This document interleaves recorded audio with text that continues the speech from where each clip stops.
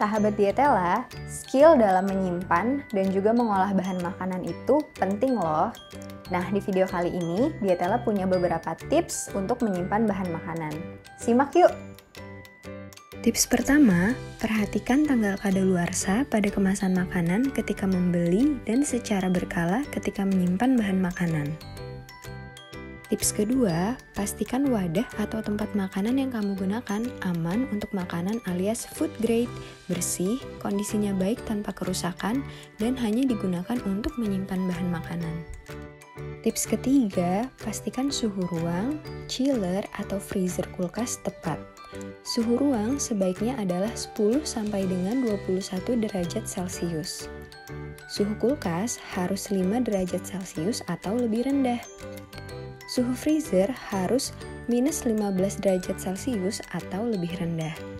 Tips keempat, penyimpanan bahan makanan di suhu ruang dapat dilakukan dengan menaruh makanan di lemari dapur atau di meja dapur. Tahukah kamu, kuman masih dapat tumbuh di tempat dingin, walau kecepatan pertumbuhannya berkurang. Tips kelima, Hindari mendinginkan atau membekukan kembali makanan yang sudah dicairkan atau dibuat menjadi suhu ruang. Tips keenam, bersihkan kulkas secara berkala. Contohnya, membersihkan kulkas satu kali setiap bulan dengan air panas yang diberikan sabun, lalu bilas dengan air bersih untuk menghilangkan sabun. Tips ketujuh, segera lap permukaan meja atau bagian kulkas jika ada tumpahan. Nah, itu dia tips menyimpan bahan makanan yang bisa kamu ikuti.